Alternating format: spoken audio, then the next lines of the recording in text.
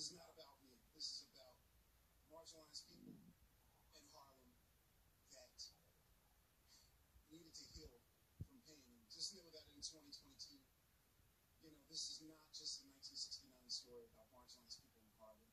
This is a story of, of,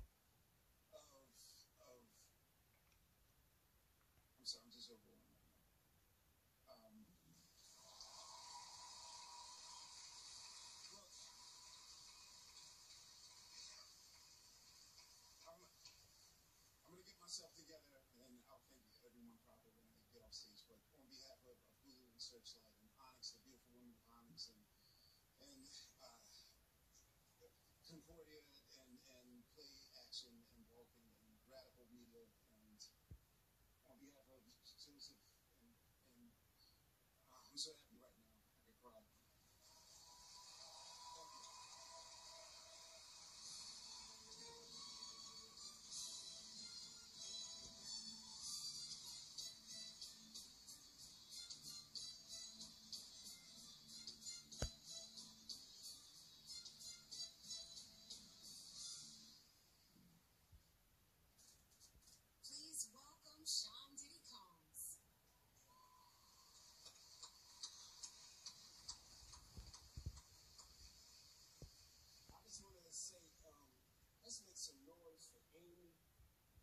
ever.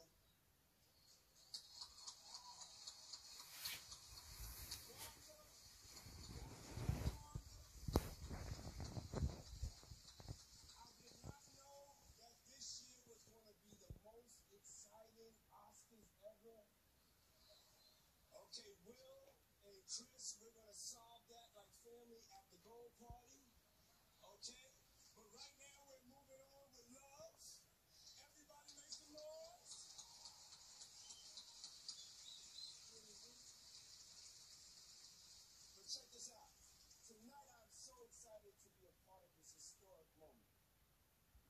True movie lover. And I've watched these films hundreds of times. And like so many artists, I was deeply influenced by the themes so brilliantly displayed in Francis Ford Coppola's Godfather trilogy.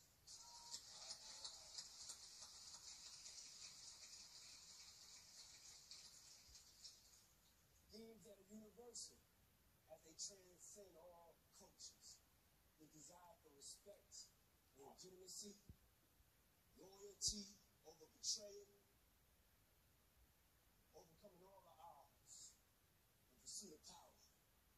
But most importantly, the value of family and community.